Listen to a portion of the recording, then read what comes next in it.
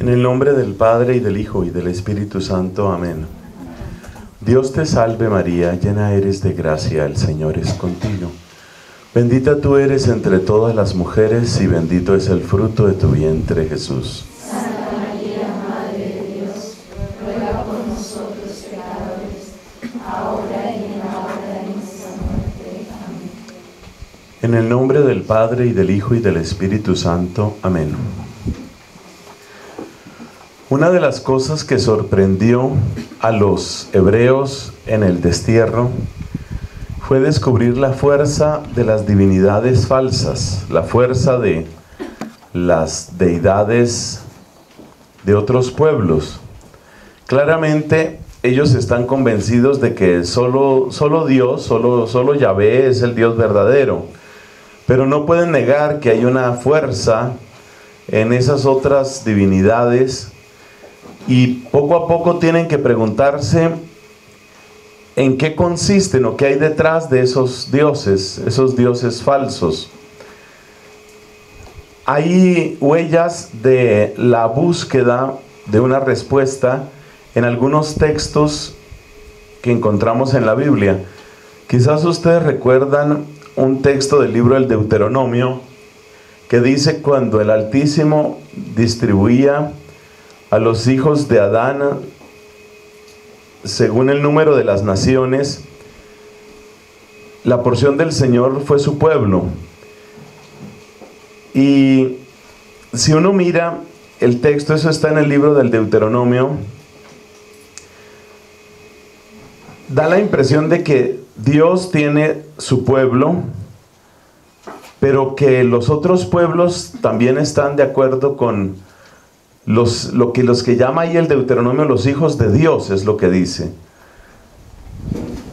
Distribuía a las naciones, yo creo que es bueno buscar el, el texto respectivo porque tiene su importancia eso de que vamos a, vamos a distribuir o se van a distribuir las tierras según el número de los hijos de Dios.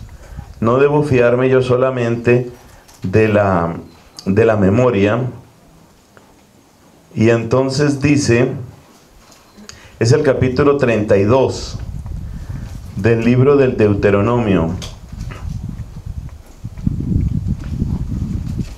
El versículo específico es el número 8. Y ahora creo que lo voy a poder citar textualmente. Cuando el Altísimo repartió las naciones, cuando distribuyó a los hijos de Adán, fijó las fronteras de los pueblos según el número de los hijos de Dios. Considere ese texto. Lo que es distribuido es los hijos de Adán. Claramente esa es la raza humana. Los hijos de Adán fueron distribuidos en distintas naciones. ¿Y el criterio cuál fue? Según el número, dice, de los hijos de Dios. Repito, el versículo 8 y le agrego el 9. Cuando el Altísimo repartió las naciones, cuando distribuyó a los hijos de Adán, fijó las fronteras de los pueblos según el número de los hijos de Dios. Mas la porción de Yahvé fue su pueblo, Jacob fue su parte de heredad. O sea que hay conciencia de que los hijos de Adán, la raza humana, fue distribuida según un criterio que es el número de los hijos de Dios. ¿Y los hijos de Dios a qué se refiere ahí? No se refiere a los hijos de Adán, no se refiere a los seres humanos. Parece que hijos de Dios es una de las expresiones que se quiere utilizar para esas criaturas espirituales que se encuentran en otras naciones. Repito, cuando ellos fueron, cuando estuvieron todos esos años en Babilonia, ellos se dan cuenta de que hay un culto allá, hay una religión allá. Y se dan cuenta de que hay algunas cosas extrañas, unas pocas buenas, y también hay una cierta fuerza y un cierto poder. Una de las cosas que los judíos ya en su retorno del destierro trajeron fue el término para los querubines. Los querubines son seres alados que eran venerados allá en, en Babilonia. Así que el descubrimiento del mundo espiritual está relacionado con esa disputa con otras naciones. Es un descubrimiento progresivo, no es lineal, es decir, no avanza de manera secuencial, continua, ininterrumpida, sino que se va dando poco a poco, poco a poco los, los miembros del pueblo de Dios se van dando cuenta que existen otras fuerzas espirituales. Recordemos que en el libro de los reyes, en el primer libro de los reyes, se cuenta la disputa entre los profetas de Baal y el único profeta que le queda Yahvé. Y los profetas de Baal, pues, tienen un cierto éxito, tienen un cierto poder. Así como también los sacerdotes de la corte del faraón también tienen un cierto poder. Así que poco a poco el pueblo de Dios en distintas experiencias se fue dando cuenta de que la realidad creada, el mundo creado, no solo consiste en aquello que podemos ver, sino que hay cosas que aunque no las podemos ver, sí tienen una cierta influencia sobre nosotros, una cierta influencia sobre los seres humanos. Y así poco a poco se va tomando conciencia de que existe lo que hoy llamamos el mundo de los ángeles. En el Génesis, el principio dice, el, texto dice al principio, capítulo primero, versículo primero, en el principio creó Dios el cielo y la tierra. En el principio creó Dios el cielo y la tierra, pero ese cielo no se refiere al firmamento, porque el firmamento aparece después, cuando se separan las aguas superiores y las aguas inferiores. Entonces la expresión creó el cielo y la tierra no se refiere a elementos astronómicos. Algunos estudiosos, algunos teólogos consideran que ese versículo, que es el primer versículo de la Biblia, vamos a ver cuál es la versión que encontramos aquí, qué traducción encontramos acá, dice, eso tal cual creó Dios los cielos y la tierra. Ahí está una expresión que luego nosotros tenemos en el credo, ¿no? Que Dios ha creado el cielo, la tierra, ha creado lo visible y lo invisible. O sea que el pueblo de Dios ha tenido conciencia de que existe algo más de lo que se puede ver. Ese es el resumen de esto. Existe algo más de lo que se puede ver y esas criaturas, esos seres, parecen tener una influencia muchas veces negativa, como en el caso de la idolatría, pero también se cuentan algunos casos positivos. Por ejemplo, en el libro del Éxodo encontramos que Dios le recomienda al pueblo, mira que envío un ángel delante de ti, hazle caso en cuanto diga. También tenemos, por supuesto, la historia del libro de Tobías, donde se cuenta que un ángel llamado Rafael sirve de guía, sirve de protector, sirve de médico, que realmente le abre un camino, no solamente al mismo Tobías, sino también a Sara y al papá de Tobías, que según algunas traducciones se llamaba Tobit. Entonces, hay conciencia de que existen esos seres. Pasemos a este segundo punto. ¿Cómo se habla de esos seres? ¿Quiénes son esos ángeles?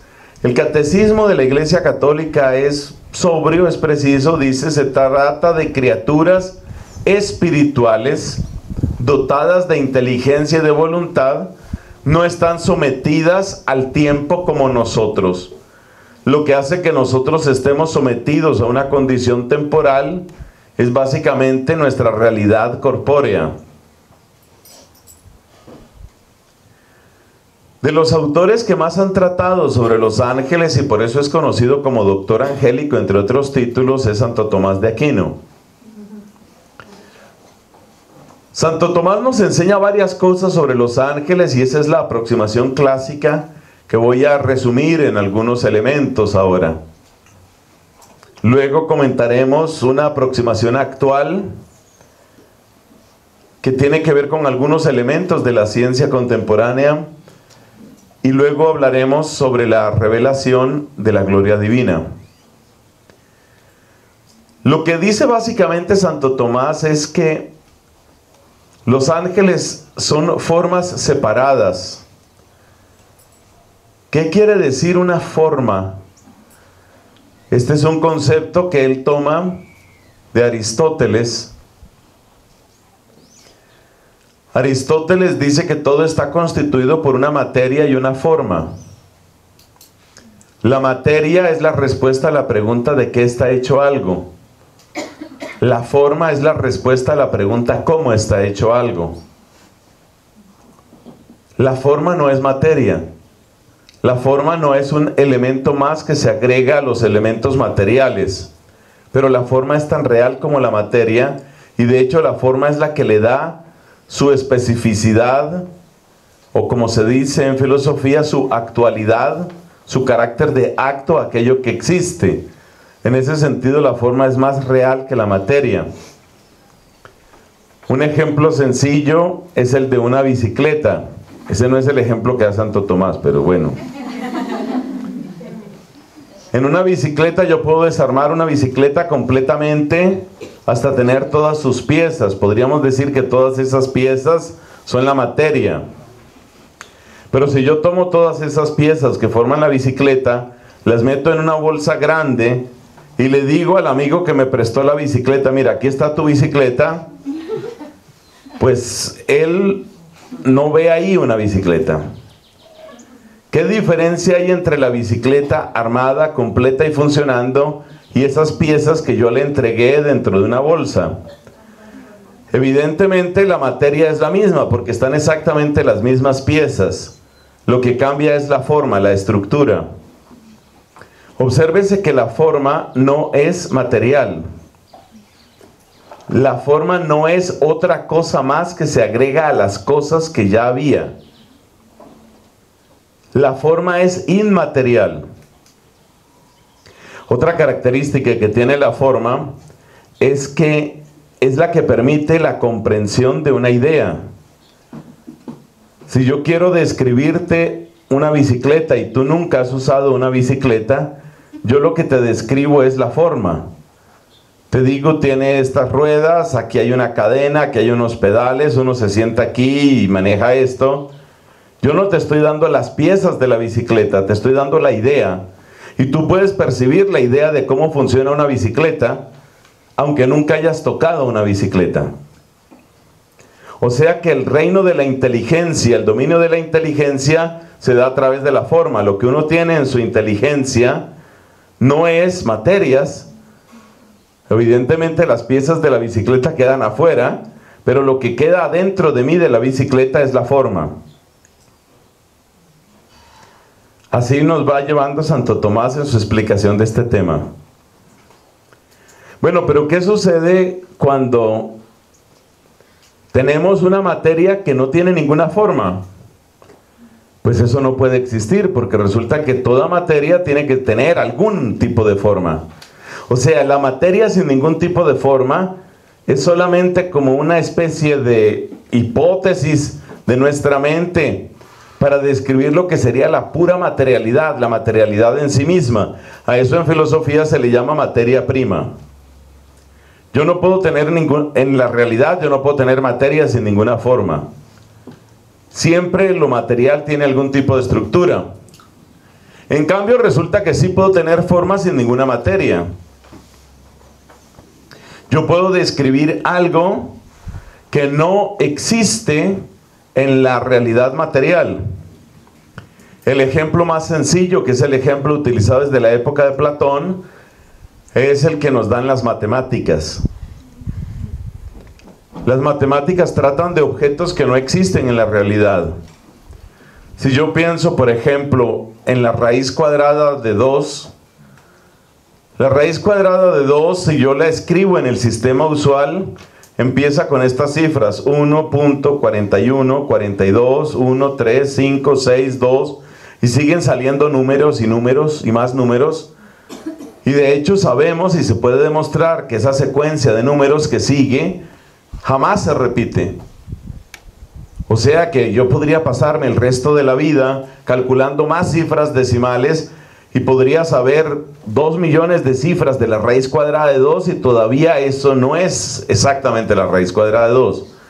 Podría saber trillones de esas cifras y todavía esa no es la raíz cuadrada de 2. Y sin embargo yo entiendo que es la raíz cuadrada de 2. Es un número que si lo multiplico por sí mismo da exactamente 2. Todavía más fácil de entender es el caso de la geometría.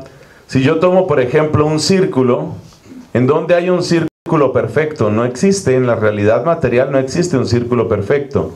Un círculo, los círculos que yo dibujo en el tablero, los círculos que dibujo en el aire, por ejemplo, mire, yo soy bueno para hacer círculos en el aire, esos círculos son apenas alusiones Sí, son elementos que le sirven a usted y a mí para entendernos de qué estamos hablando.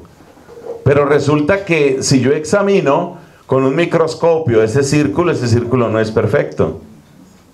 Porque la definición de círculo es un conjunto de puntos que están en el mismo plano y que están a exactamente igual distancia de otro punto llamado el centro. Si yo miro un círculo real trazado sobre esta mesa, y mido con un microscopio electrónico, me doy cuenta que la distancia no es exactamente perfecta. Entonces, los elementos matemáticos, lo que hay en la matemática son formas que propiamente no corresponden a la materia, aproximan la materia. De hecho, aproximan tan bien la materia que por eso existe la física, por eso existe la ingeniería, por eso existe la resistencia de materiales, por eso se pueden hacer casas, por eso confiamos que este techo no se nos cae encima. Se puede construir de esa manera. Entonces sí existen formas sin materia, ojo con eso. Hemos explicado lo que es materia, lo que es forma, y hemos explicado que no hay materia sin forma, pero sí puede haber forma sin materia. Eso sí puede haber. Una vez que uno tiene claro que sí puede haber forma sin materia, entonces demos un paso más. ¿Podría Dios crear formas que no tienen ninguna materia? Si no tienen ninguna materia desde el acto mismo de su creación, entonces se pueden llamar, y así las llama Santo Tomás, formas separadas. Una forma separada, ¿qué es? Pues una forma separada es como una idea, pero no es una idea matemática, es como una idea que no tiene ninguna materia. Bueno, y hay formas que le den forma a la materia en el caso nuestro? Por supuesto que sí. El nombre que tiene la forma, que le da la estructura y la funcionalidad y la vida misma a mí, a mi propio ser, se llama el alma. O sea, el alma es la forma de mi ser. Lo cual significa que el alma está relacionada con la figura ya ustedes dirán, bueno, entonces hay almas gordas, almas flacas, almas altas, almas bajitas, pero más que con la figura, está relacionado con la estructura, está relacionada con la manera de ser. A medida que voy conociendo cómo es una persona que desea, que ama, que busca, que espera, a qué le teme, estoy conociendo el alma de esa persona.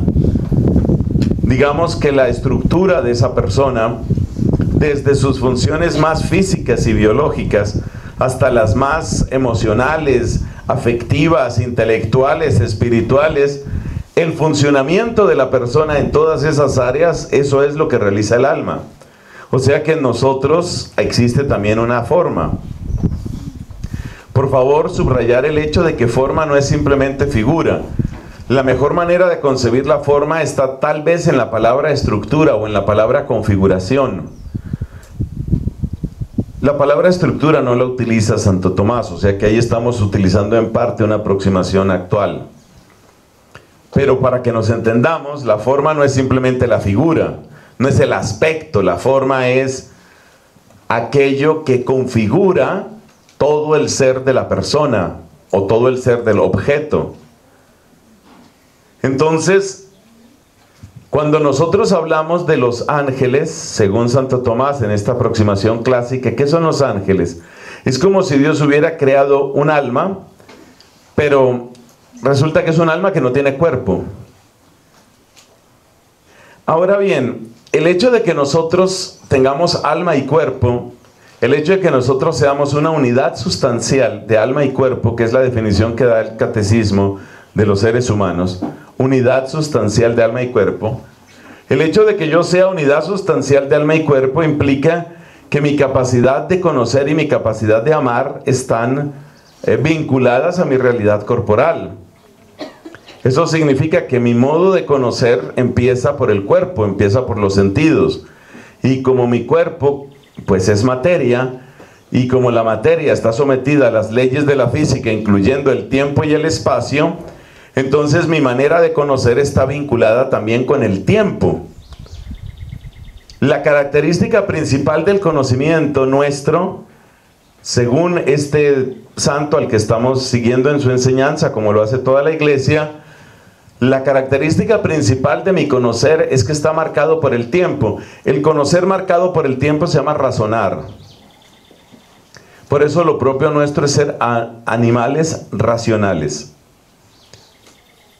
Razonar, ¿qué es? Razonar es avanzar en el conocimiento a través de la información que recibo en el tiempo. Eso es razonar. Entonces nuestra manera usual de conocer, eso puede cambiar, claro, con los dones del Espíritu Santo, en fin. Pero nuestra manera usual de conocer, ¿cuál es? Nuestra manera usual de conocer es recibir información, recibir poco a poco datos, podríamos llamarlos, y esos datos los vamos articulando, los vamos uniendo y vamos llegando a conclusiones. Eso se llama razonar. Nosotros vamos paso a paso avanzando en el conocimiento. Pero ¿qué pasa cuando hablamos de una forma separada? ¿Qué tipo de conocimiento tiene una forma separada? Una forma separada o las formas separadas, que es la característica de los ángeles, tanto los buenos como los caídos, los ángeles no conocen de esa manera. Los ángeles ni tienen, ni tuvieron, ni tendrán cuerpo. Si los ángeles no tuvieron, ni tienen, ni tendrán cuerpo, Quiere decir que su conocimiento no sucede como en el caso nuestro, a través de un proceso, a través de un recorrido, a través de una deducción. Entonces, ¿cómo conocen los ángeles?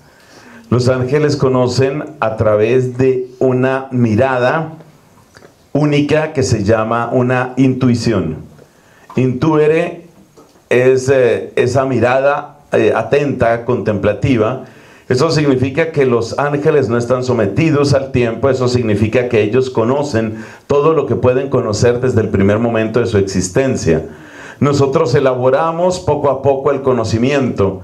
Cuando éramos bebés conocíamos muy poco y ahí vamos poco a poco conociendo más, conociendo más, vamos aprendiendo cosas. A lo largo de la vida aprendemos, aprendemos música, arte, idiomas, matemáticas, geografía, aprendemos cosas cotidianas aprendemos a cocinar, aprendemos a lavar ropa, aprendemos jardinería, aprendemos a curar enfermedades, aprendemos malas palabras, aprendemos mañas. Aprendemos muchas cosas, algunas inútiles, otras útiles, unas buenas, otras malas, pero en nosotros todo sucede a lo largo del tiempo.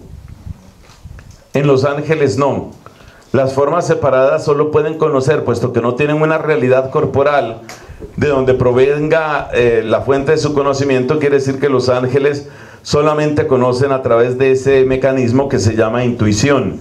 Pero ¿qué es lo que miran los ángeles?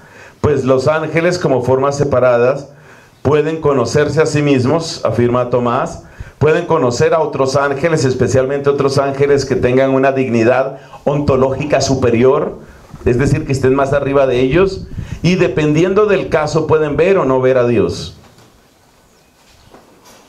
Eso es lo que conocen los ángeles. Entonces los ángeles conocen eh, formas, conocen formas eh, conjuntas, es decir, formas como las que encontramos en la materia, pero sobre todo conocen esas formas más perfectas y pueden llegar a conocer a Dios hasta donde es posible conocerlo para ellos, porque ellos tampoco pueden abarcar a Dios. Lo más importante de esto es que los ángeles, los ángeles conocen de una manera que podríamos llamar instantánea, intuitiva, no hay cambio en el conocimiento de ellos.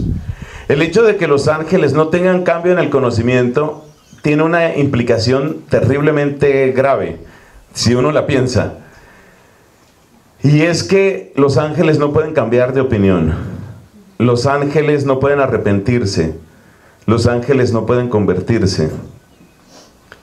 ¿Cómo sucede la conversión en una persona? La conversión en una persona humana, la conversión sucede porque uno recibe nueva información. Yo creía que lo único que se podía hacer en esta tierra era hacer plata. Pero de repente me encontré con una hermosa comunidad religiosa y yo veo la alegría de esta gente sirviendo a los pobres y yo digo, esa es la alegría que yo no tengo, que yo nunca he conocido y por eso me decidí dejarlo todo y me dediqué únicamente a Cristo. Una conversión impresionante. ¿Y esa conversión cómo sucedió? Porque a la persona le llegó un nuevo dato. Es que yo no sabía que lo mío era tan grave. Cometí un aborto, yo no sabía que eso era tan grave, pero he ido conociendo sobre la vida humana, he ido conociendo sobre lo que significa la vida. Y hoy realmente rechazo y me duele muchísimo haber causado ese aborto o haberme hecho ese aborto. Es decir, la conversión sucede porque llega nueva información. La conversión sucede porque al recorrer el edificio, mi base de datos, de conocimientos, de repente descubro algo. Como dijimos, nuestro conocimiento sucede de una manera progresiva, de una manera temporal. Por eso se dice conocimiento deductivo. Es curioso que Santo Tomás habla de un conocimiento digital, un conocimiento que es a base de sí o no, un conocimiento binario. Él dice que una de las funciones principales de la inteligencia es lo que él llama intellectus componens et dividens. Y el intellectus componens et dividens es el intellectus, o es la parte del entendimiento que produce un 1 o un 0. Y a partir de, ese, de esos unos y ceros uno construye el conocimiento. Me impacta muchísimo que Santo Tomás haya afirmado algo como eso, que la esencia del conocimiento humano es un conocimiento binario. Eso lo dice él en el siglo XIII. Eso impacta. Entonces, eh, nuestro conocimiento es binario y es progresivo y por eso en nosotros puede haber arrepentimiento. Un ángel no recibe nueva información. Un ángel sabe desde el primer momento de su existencia todo lo que es posible saber. Eso significa que un ángel toma una sola decisión en la vida, mientras que nosotros tomamos muchas decisiones. Entonces uno toma una decisión, por ejemplo, voy a trabajar en la viña. Luego dice, no, me dio pereza, mejor no trabajo en la viña. O uno dice, no quiero trabajar en la viña, pero luego recapacita y dice, no mentira, sí voy a trabajar en la viña. Uno cambia. Uno cambia. Por algo se hizo esa canción, cambia todo. Bueno, hay una canción que dice que todo cambia. Pero uno cambia, ¿por qué? Porque llega nueva información, uno cambia porque puede recibir nuevo conocimiento. Pero si uno desde el principio tiene todo el conocimiento que es posible tener, ya no puede cambiar. Entonces la manera como debe uno imaginarse la vida de un ángel es la siguiente. Cuando el ángel es creado, llega a descubrir su propia voluntad, llega a descubrir su capacidad de decidir, y llega a descubrir que puede decidirse por Dios o contra Dios. Esa es la decisión básica. Es decir, la afirmación de su propio ser rechazando a Dios o la afirmación de Dios poniendo todo su ser al servicio de Dios. O soy completamente de Dios o estoy completamente en contra de Dios. Esas son las únicas posibilidades. Eso significa que el único acto voluntario de un ángel es por Dios o contra Dios. Ese es el único acto voluntario y de eso depende todo. No es posible la conversión. Algunas personas les impacta ese hecho de que no es posible la conversión para los ángeles.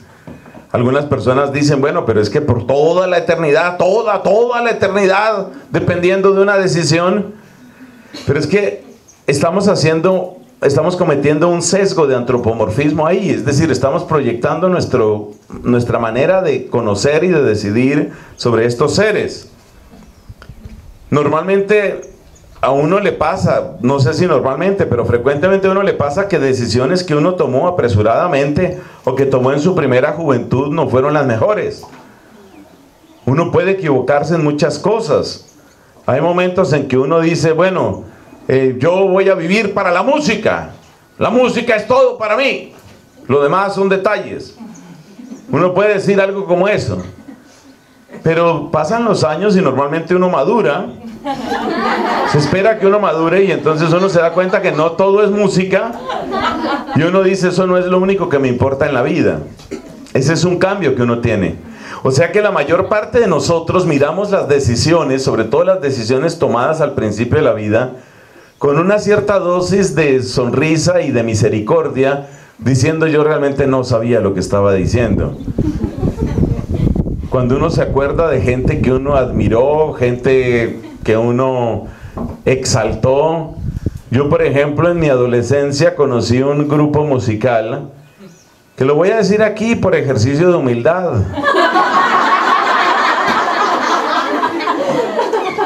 Claro, porque eso ya nadie se acuerda de esos señores. Se llamaban los Bee ¿Ve? Nadie se acuerda de quién eran los Bee Además, sé que las hermanas que sí se acuerdan, porque hay unas que sí se acuerdan, hacen cara de que no, no sé. ¿Por qué hacen esa cara? Para que no le saquen la edad en primer lugar.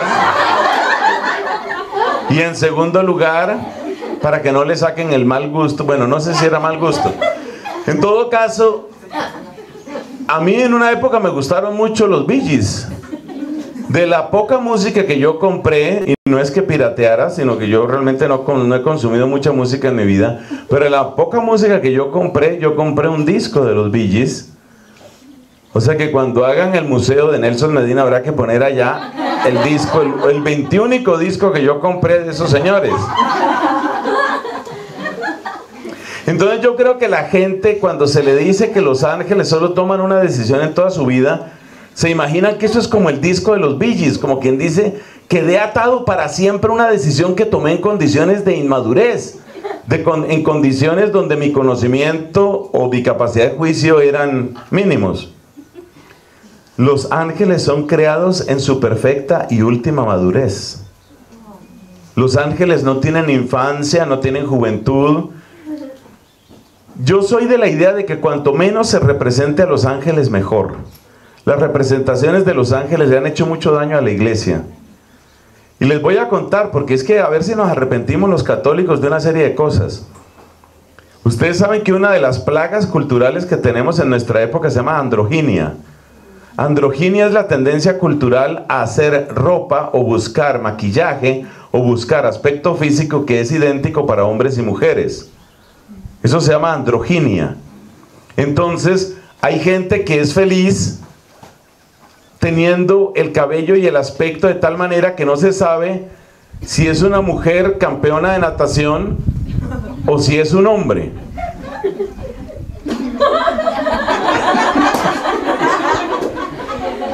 Entonces, entonces hay gente que es así, que le encanta que no se sepa si yo soy hombre, si yo soy mujer, que eso no se sepa. Y hay tiendas que venden ropa para, para los que tienen ese tipo de cultura. Eso es la androginia. El mejor remedio contra la androginia es dejarse la barba. Pero ni eso, porque por ahí también se dan unos casos. Entonces, ¿el punto cuál es? El punto es que ¿quién empezó con la androginia? La iglesia. Mire, eso es una vergüenza. Oiga lo que le estoy diciendo. Mire, me da culpa, eso es una vergüenza la iglesia católica. Con la androginia la que empezó fue la iglesia en el arte. ¿Por qué? Porque empezaron con la tontería de que había que pintar a los ángeles. Y como el ángel no es ni hombre ni mujer, normalmente le ponían un cuerpo que era bastante masculino, un cuerpo de joven, de un hombre joven y fuerte, y le ponían una cara que fuera tan delicada que era prácticamente femenina. De manera que hay una gran cantidad de representaciones pictóricas de ángeles que son pura androginia. Ese desorden lo empezó, bueno, no la iglesia, algunos en la iglesia. Por eso lo que son las representaciones de ángeles, procuren evitar eso al máximo. Por supuesto que hay que creer en la existencia de los santos ángeles. Por supuesto que hemos de invocar a los santos ángeles. Por supuesto que hemos de confiar en la protección de los santos ángeles. Yo lo hago con mucha frecuencia. Por supuesto. Y por supuesto que hay que saber que existen los ángeles caídos. Por supuesto. Pero representarlos, mi sugerencia, mi consejo es no, no, no hace bien. No hace bien. Casi todas las representaciones de ángeles han acabado mal en la historia de la iglesia. En primer lugar, por el problema de la androginia. Para mí es repugnante, así como con el debido respeto, me resulta repugnante esos revueltos entre hombre y mujer que tratan de hacer ahora. Me resultan repugnantes los cuadros que pretenden representar a ángeles.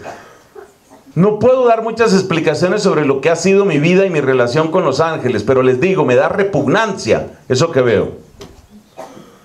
Evitar, evitar a toda costa esa, clase de representaciones. Eso no sirve de nada. Las representaciones de los ángeles como niños no sirven de nada. Eso le quita toda seriedad. Los representan ahí como unos niños, todos como enfermos de malaria, o por lo menos barrigones.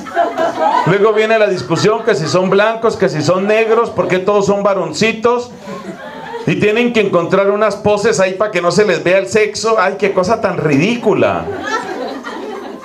Entonces, ¿por qué no hay ángelas? Entonces todos son angelitos. ¿Por qué angelitos? Eso no tiene sentido, eso es ridículo. Eso es ridículo. Y eso, esos ridículos se pagan. ¿Sabe cuál fue el precio que pagó la iglesia? Por, entre las representaciones de los ángeles como bebecitos flotantes y la representación de los ángeles como seres andróginos, ¿qué precio pagó la iglesia? Que eso se volvió una devoción a la que nadie tomaba en serio. Entonces las mamás seguían enseñando a los hijos y a las hijitas la oración del ángel de la guarda, mi dulce compañía. No me desampares ni de noche ni de día. Bonito, pero eso se le enseñaba al niño. Pero ¿qué cuadro es el que se representa? ¿Se acuerdan los cuadros? ¿En qué familia no había un cuadro del ángel de la guarda? El ángel de la guarda representa a un niño que está pasando por un puente que tiene por allá una tabla que se está cayendo, ¿cierto? En su casa también había. ¿Y quién le está ayudando? Le está ayudando el angelito. ¿Y el angelito cómo es? El angelito es prácticamente otro niñito. Eso no tiene sentido, eso es ridículo. Y esas representaciones ridículas de los ángeles hacen que la persona apenas sale de la infancia ya no cree más en los ángeles. Entonces, se dejó de enseñar el tratado de los santos ángeles, la angeleología se dejó de enseñar en los seminarios y en las facultades de teología, se dejó de enseñar. Eso se desapareció. Yo no sé si mi querido hermano en el sacerdocio aquí presente haya recibido en toda su formación una sola clase sobre ángeles. Pero yo le comento, querido padre, yo pasé por toda mi formación sin recibir una sola clase en teología sobre este tema, porque nadie lo toma en serio. Ese es el precio que se paga. Uno se ríe con los, con los bebecitos flotantes, uno se ríe, pero el precio que ha pagado la iglesia es durísimo. Lo peor vino después. En mi época, yo me ordené sacerdote por misericordia de Dios en 1992. En mi época no se hablaba nada de ángeles, pero ya en esa época, en, la iglesia católica, ya en esa época empezó un movimiento que empezó a secuestrar el tema de los ángeles, la nueva era. Todo lo que la iglesia descuida, alguien lo agarra. Si la iglesia descuida el tema social, lo agarraron los comunistas. Si la iglesia descuida la justicia contra la mujer o la justicia por la mujer que contra la mujer. La justicia con la mujer y la justicia por la mujer. Si la iglesia descuida la justicia doméstica, ahí viene el movimiento feminista. Si la iglesia descuida a los jóvenes, ahí vienen las bandas de rock a agarrar a los jóvenes. Si la iglesia descuida a los ángeles, ahí llega la nueva era a agarrar a los ángeles. La única manera de ser católico es cuidando todo, todo el depósito de la fe. Hay que cuidarlo todo y hay que vivirlo todo. Por eso es bello este tema de los santos ángeles. Y cuando me propusieron este tema, realmente sentí alegría porque me parece hermoso que podamos compartir de esto. Bueno, volvamos a Santo Tomás. Entonces, ¿qué dice Santo Tomás? Que el conocimiento de los ángeles no es deductivo como el nuestro, sino que el conocimiento de los ángeles es intuitivo. Que sea intuitivo el conocimiento de los ángeles significa que el ángel es creado en su madurez perfecta. Madurez que en el ser humano toma mucho más tiempo. La idea que tenían los medievales es que la madurez se alcanzaba cerca de los 30 años de edad. ¿Qué es más o menos la edad a la que empezó a predicar Juan Bautista? Es la edad en la que se inicia eh, la vida pública, el ministerio, el servicio de evangelización precioso de nuestro Señor. Sobre los 30 años de edad se supone que se alcanza como esa plenitud, se alcanza como esa madurez. Sin embargo, hay personas que pasan por los 30 y siguen y no, no se ve que hayan llegado. En todo caso, los ángeles son creados en madurez, en su perfecta madurez, en la plenitud de sus facultades, tienen un solo conocimiento, un solo acto de conocimiento que es intuitivo. Y ese acto de conocimiento define para siempre, para siempre, su realidad. En los ángeles no puede haber conversión. La conversión solo es posible si llega nuevo conocimiento. Que llegue nuevo conocimiento implica ser temporales. Los ángeles no están sometidos al tiempo. No hay conversión en los ángeles. Entonces la manera de imaginar la condena de los ángeles que en otro tiempo fueron, o sea, que fueron creados en bondad, estamos hablando del caso de Satanás y sus secuaces, la, el, el infierno, pues el infierno empieza en esa rebelión, en esa rebelión de ellos, y si tenemos que imaginarlo de alguna manera, ya les decía en la predicación anterior, la única manera útil que yo encuentro de imaginarlo es como el asteroide que huye, huye, huye sin cesar de la luz.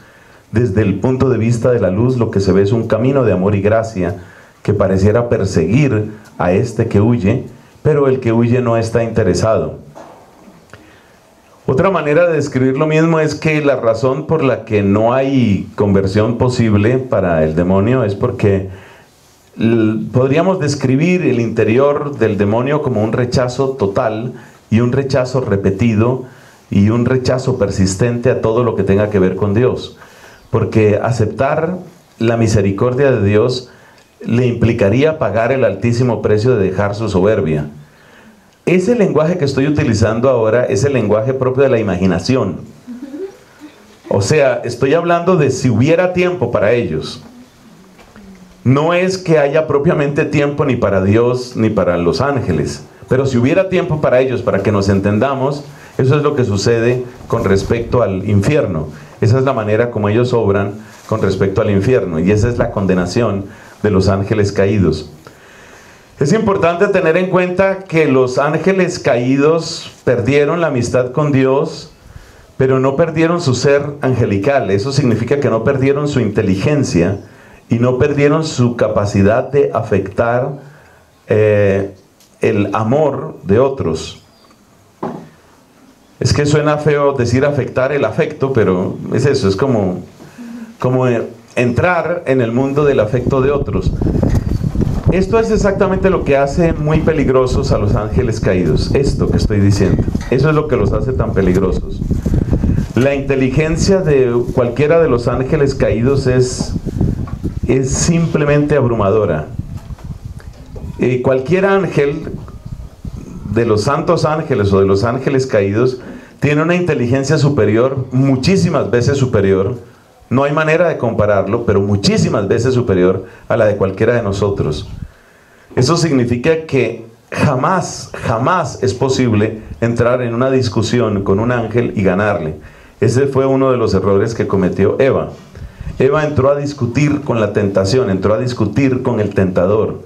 No es posible ganarle una discusión a un ser tan terriblemente inteligente, tan espantosamente inteligente.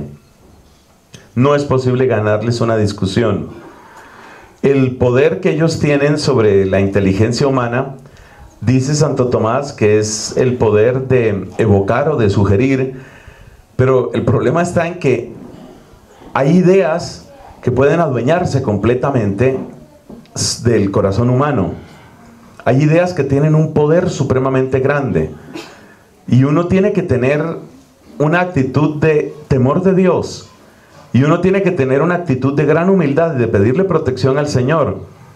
Porque la manera como nos atacan, la manera principal como nos atacan los ángeles caídos, no es a través de mover cosas. Eso también sucede, ¿ah? Eso también sucede. En las vidas de los santos, como le pasó, por ejemplo, a Catalina y como le pasó muchísimo más al Padre Pío de Pietrelcina, sí, los ángeles mueven cosas y, tratan de causar confusión o desconcierto.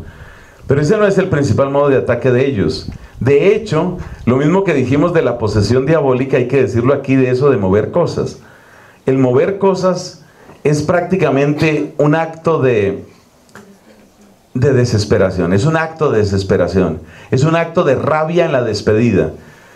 Por eso, realmente, si a uno le llegara a suceder, yo por supuesto no deseo que me suceda ni a mí ni a ustedes, si a uno le llegara a suceder, pero sí conozco gente que ha visto esas cosas en exorcismos, que les han pasado, y por supuesto es terriblemente desagradable, pero si uno tiene la claridad en la fe, uno tiene que saber que ese tipo de actos de desesperación en el fondo son expresiones de la derrota del demonio. Las posesiones y ese tipo de interacciones con el mundo material son prácticamente la derrota de él. Lo fino del ataque del demonio no es eso, es lo que quiero decir. No pensemos que como hasta ahora yo dejé la silla y ahí está la silla, está en su sitio, no se ha movido. Quiere decir que libre ataque del demonio. Celular, ahí está el celular, no se movió el celular, está todo en orden. Entonces quiere decir que no hay problema. No, no se fíe de eso. Ese tipo de acciones, o sea, por algo se les presentan más a los santos que a personas tan mediocres como este servidor. Por algo se les presentan a ellos. Porque es que realmente el demonio se desespera.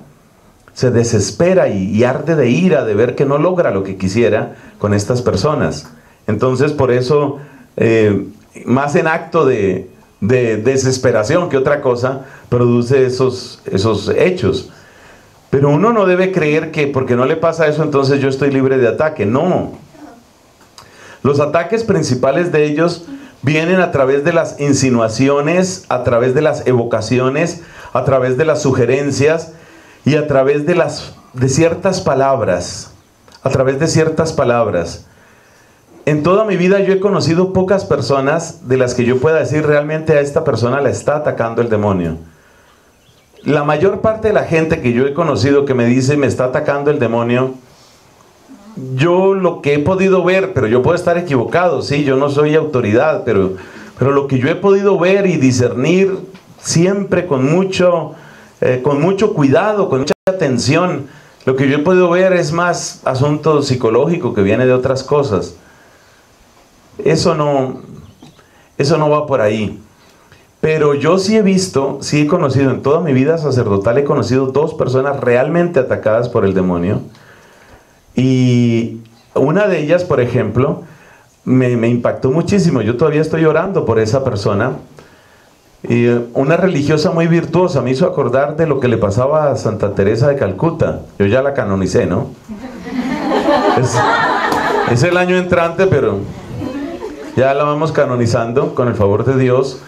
Santa Teresa de Calcuta fue muy atacada por el demonio. Y, el ataque principal, que a mí me, impactó mucho cuando leí eso en la biografía de, de Santa Teresa de Calcuta, el ataque principal es un ataque a través de ideas y a través de palabras, porque es que la naturaleza de ellos es intelectual. Eso de estar moviendo vasos y estar apagando luces y prendiendo equipos y no sé qué, Eso no, no, no es lo principal. Usted no le dé tanta importancia a eso. Que se me cayó el internet, pues ya se levantará. Ya se levantará, se cayó, se levanta, eso no. Sí, porque es que hay personas que consideran. Ay, yo me estoy acordando que eso sí me pareció una historia tan tierna. En una población que no diré cuál es, porque es que estos videos cada vez circulan más, ¿no? Ese es el problema. Entonces cada vez puedo dar menos datos de historias que conozco porque la gente se siente mal de que uno diga. Pero los que deseen luego les doy el teléfono. Claro que no voy a dar el teléfono, no se preocupen, no voy a dar el teléfono. En cierta población de la República de Colombia, que no es Bogotá, había una señora que tenía un grupo de oración. Un grupo de oración, asistían como unas 18, 20 personas, más que todo vecinas, señoras amigas, la tía de la amiga, eh, una pensionada que no tiene nada más que hacer esa tarde, entonces ya llega al grupo, el esposo de la pensionada, porque la pensionada lo seca, eh, con que tiene que ir y tiene que ir. Bueno, ese era el grupito, un grupito de oración relativamente modesto. y entonces, oiga, y esta señora me decía, pero con el rostro angustiado, usted no se imagina, padre, no se imagina el ataque del demonio contra este grupo. Cuando uno ha conocido tantas obras que está haciendo el Espíritu Santo hoy en la iglesia, obras grandes, grandes, gente que está trabajando en serio.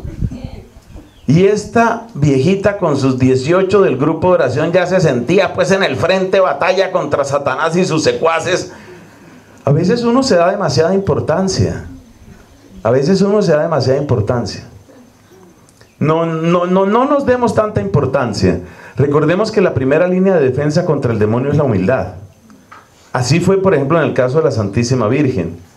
Y hay una historia preciosa que se cuenta de San Antonio Abad.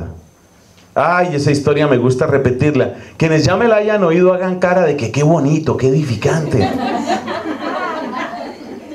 Resulta que San Antonio iba a iba al pueblo, probablemente no era el pueblo sino la ciudad, en todo caso, iba a una población, él vivía, pues era ermitaño, él vivía en el desierto.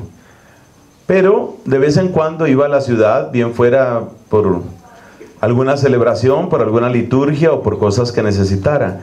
Y mientras él iba caminando y sin dejar de caminar tuvo una visión. Él vio que a su lado y también orientándose hacia la ciudad, yendo hacia la ciudad, iban una cantidad de demonios.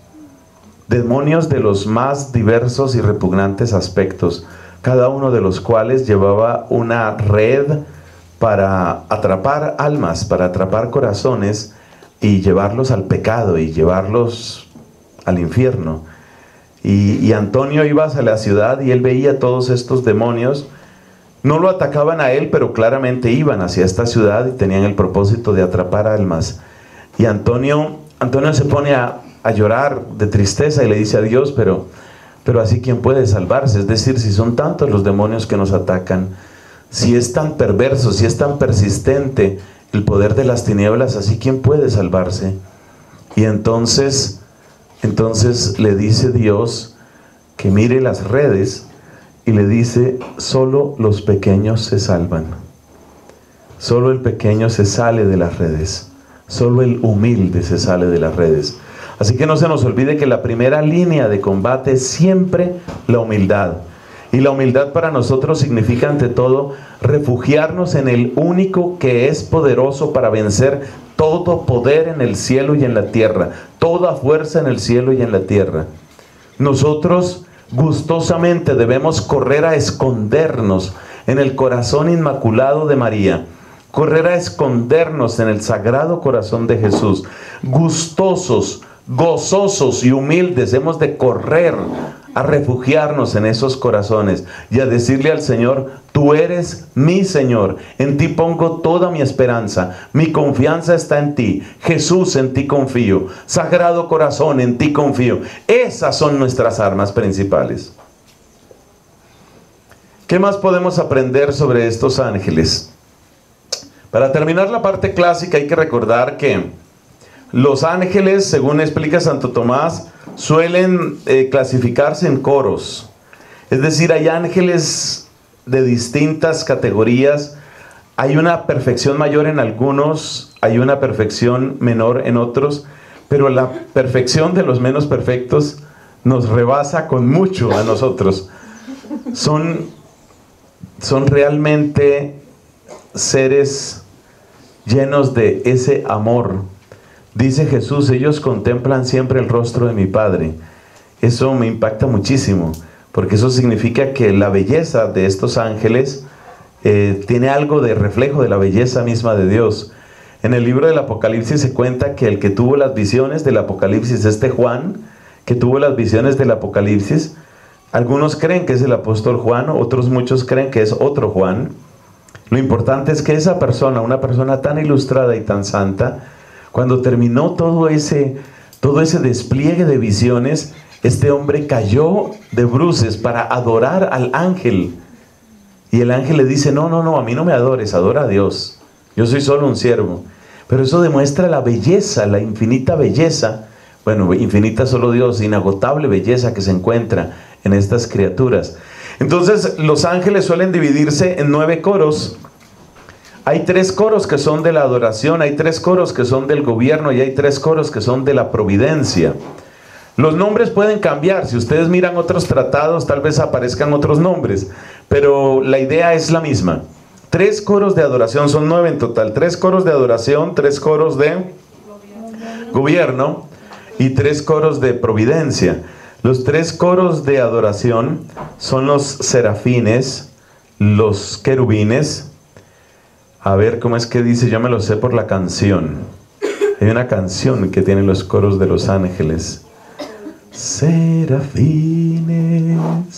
querubines, tronos, dominaciones, principados, potestades virtudes, arcángeles y ángeles, dad gloria a Dios. A ver si me vuelve a salir. Ahí están tomando apuntes. Es la manera como trato de ayudar mi memoria. Serafines, querubines, tronos, dominaciones, potestades, principados virtudes, arcángeles y ángeles, dad gloria a Dios. ¿Eso suma nueve? Bueno, sirvió la canción. a petición, serafines, querubines, tronos, dominaciones potestades, principados, virtudes, arcángeles y ángeles, dad gloria a Dios. Luego se devuelve. Ángeles, arcángeles, virtudes, principados, potestades, dominaciones, tronos, querubines, serafines, la gloria a Dios. Esos son los nueve. Entonces, serafines, querubines y tronos, donde me equivoque me corrigen, serafines, querubines y tronos suelen asociarse con la adoración. Es decir, el modo más perfecto de vida de los ángeles es vivir solo para Dios. Es adorarle. Los más altos, los más altos son los serafines. Los serafines ardientes en el amor de Dios. Los queridos franciscanos hablan de Francisco como el seráfico. El seráfico padre lo llaman. Me parece un elogio tan hermoso. Nosotros los dominicos llamamos también eh, Padre, consideramos como como en las fuentes de nuestro carisma San Francisco. Nosotros lo nombramos siempre así, nuestro Padre San Francisco. Bueno, entonces esos están en la adoración, serafines, querubines, tronos. Luego, ¿qué sigue? Dominaciones, potestades y principados. Son los que tienen que ver con el gobierno. Y lo que tiene que ver con el gobierno es lo que empata aquí con lo que llamamos actual. Mira, la ciencia descubre leyes, pero ¿por qué las leyes son las que son?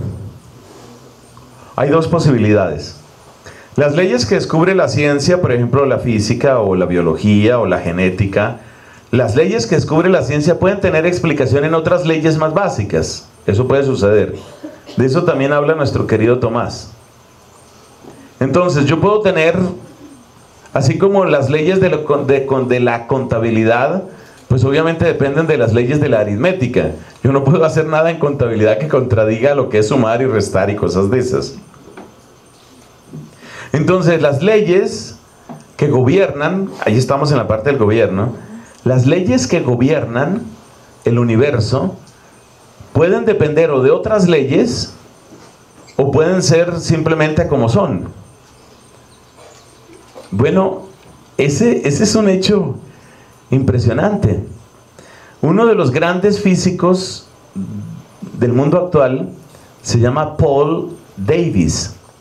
Y Paul Davis, que sabe de qué está hablando, es una mente supremamente brillante, dice, el gran desafío de la física contemporánea es explicar no el origen de la materia, ni la constitución de la materia, sino el origen de las leyes. Bueno, la idea que tiene la iglesia, la idea que tiene la iglesia desde la época medieval, es que las leyes últimas del gobierno del universo reposan sobre la voluntad de Dios expresada en sus ángeles. Es decir, que las leyes, lo que nosotros consideramos como ecuaciones y que son expresiones bellísimas, de armonías profundas dentro del cosmos, serían, si esa intuición es correcta, yo creo que es correcta, serían en realidad dependientes del señorío parcial de estos ángeles que la iglesia conoce como los ángeles de gobierno. Es decir, las, ¿cuál era la primera? Usted es la que me está ayudando. ¿Cómo se llama la primera del gobierno? Dominaciones, Dominaciones principados, potestades dominaciones, principados y potestades serían expresiones de las distintas leyes. La verdad es que la ciencia se ha encontrado con una cantidad de cosas que se sabe cómo son y que, sabe, que se sabe cuántos son, pero no se puede explicar por qué son como son. Hay más de 100 cantidades, 100 cantidades que no tienen dimensión, es decir, no son ni vatios, ni newtons, ni gramos, ni metros, hay 100 cantidades, es decir, proporciones entre distintas áreas de las leyes físicas que no tienen ninguna explicación, más de 100. No sabemos por qué existen esas cifras. La única que me acuerdo siempre es la proporción que hay entre la masa del protón y la masa del electrón. Esa proporción es algo así como de 1800. Usted tiene que juntar 1800 electrones para tener el peso de un protón. Pero ¿por qué 1800? ¿Por qué esa cifra? No es exactamente 1800, es un poquito más. Pero ¿por qué esa cifra? La podemos medir. Podemos saber que el universo sería otra cosa si esa cifra fuera otra. Pero ¿de dónde viene que eso sea así? No hay una explicación para eso. Entonces es muy posible que las leyes últimas que descubre, por eso decimos que es una aproximación actual, que las leyes últimas que descubre la ciencia, en realidad nos están llevando hasta las fronteras mismas del mundo angélico. Esas leyes no solamente se refieren a las partículas subatómicas o a las partículas de la física, sino probablemente se refieren también a cosas muy profundas del comportamiento humano, a cosas muy profundas de, que, de lo que los científicos llaman evolución. Lo que ellos llaman evolución muy, muy posiblemente depende de ese tipo de leyes. Lo que le quiero decir es que si uno tuviera los ojos limpios, si uno tuviera los ojos limpios como los ojos de Jesús, como los ojos de María, uno podría ver que los ángeles están presentes en el gobierno de la creación visible. Uno podría ver cómo los ángeles están ahí presentes. Dice la carta a los hebreos que Dios sostiene el universo con su palabra poderosa, que es el logos. Pero ese logos viene a ser como la causa primera, las causas segundas, las causas próximas de todas esas leyes que descubre la ciencia, muy seguramente nos remiten, apuntan directamente a los ángeles. O sea que el gobierno mismo, el gobierno mismo de la creación, tiene que ver con estas criaturas espirituales. Eso a mí me impacta muchísimo. Claro, ellos no dependen del tiempo como nosotros. Cuando los medievales hablaban de esto, no sabían cómo expresarlo bien y entonces algunos, ahí vienen otra vez los cuadros, ustedes no se imaginan el grado de trauma que yo tengo con las representaciones pictóricas. Yo voy a necesitar que oren por sanación porque yo, es que yo estoy muy, pero muy disgustado con eso. Mire, por ejemplo, un cuadro, un famoso cuadro medieval representa las estrellas empujadas por ángeles. Claro, los científicos de hoy miran eso y se ríen y dicen, manada de ignorantes. Pero es que el problema no hay que plantearlo con cuadros, es que los cuadros, mejor dicho, lo voy a decir, me parece una desgracia que hayan hecho eso. Eso, eso, eso no sirve para nada. Realmente este mundo de los ángeles es bellísimo. Pero hay que saber entender que la manera como los ángeles se relacionan con ese tipo de realidades no es a través de empujar una estrella o empujar un planeta, sino más bien como las condiciones de posibilidad de las mismas leyes que descubren los científicos. Esos son los ángeles. Entonces la dimensionalidad, la verdadera dimensionalidad del universo, seguramente depende más del mundo espiritual de lo que nosotros creemos. Tenemos los tres coros de la adoración, los tres coros del gobierno, los otros tres virtudes, arcángeles y ángeles son los de la providencia, son los que tienen más que ver directamente con nuestras historias individuales, son los que nos ayudan con sus inspiraciones. Es precioso ese mundo. Necesitamos invocar más a nuestros santos ángeles para ser también nosotros expresiones, servidores de la gloria divina. Uno de los nombres bellos que les da la Iglesia Católica a los ángeles santos, obviamente, es ministros de la gloria. Los ministros de la gloria. ¿Qué quiere decir eso? Que en su perfecta obediencia y en su amor tan perfecto como puede ser, ellos manifiestan quién es Dios. ¿Qué es la gloria divina? La gloria divina es la presencia en el mundo visible. La presencia en el mundo visible de un reflejo de quién es Dios, qué quiere, cuánto sabe, cuánto puede. Aquello que hace reflejar, aquello que muestra, aquello que revela la gloria divina, aquello que revela quién es Dios, eso es gloria divina. Entonces, la palabra gloria en su origen en hebreos es kabot y kabot significa aquello que tiene peso. Entonces, la gloria divina es la entrada de aquel que impacta, de aquel que se impone, de aquel que es soberano. Y los ángeles son ministros de la gloria porque revelan ese Dios que es grande, que es santo, que es bueno. Y nosotros somos ministros de la gloria en la medida en que nosotros revelamos esa bondad, revelamos esa sabiduría. Nosotros somos expresiones de esa gloria divina. Y por eso perfectamente se puede definir la vida cristiana como qué. Perfectamente se puede definir como la búsqueda de la gloria de Dios. Como dijo San Ignacio, ¿no? San Ignacio de Loyola. Ad majorem Dei gloriam. Para la mayor gloria de Dios. Eso define la vida humana. Para eso es la vida humana. Es lo mismo que pedimos en el Padre nuestro. Venga a nosotros tu reino. Hágase tu voluntad. Eso significa que brille tu gloria. Que brille tu gloria. Bueno, hoy nos hemos asomado un poco al misterio de la creación, la creación visible, nuestra propia creación, lo que eso significa para descubrir la gratuidad de Dios. Pidamos al Señor que Él nos haga ministros de la gloria como los santos ángeles, para expresar algo de su bondad, de su poder, de su infinita sabiduría. Gloria al Padre, al Hijo y al Espíritu Santo